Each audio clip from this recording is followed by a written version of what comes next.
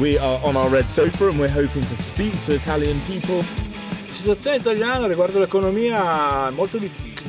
The borderless Europe makes their life easier, especially for those who live in different countries. We can travel and it's free and yeah, I really like it. Culturalmente no hay apenas diferencia, de verdad. Another issue here in this part of Europe is a train line. It's very politically sensitive. It's the missing link of the Mediterranean corridor. They are looking at the valley like a transit area.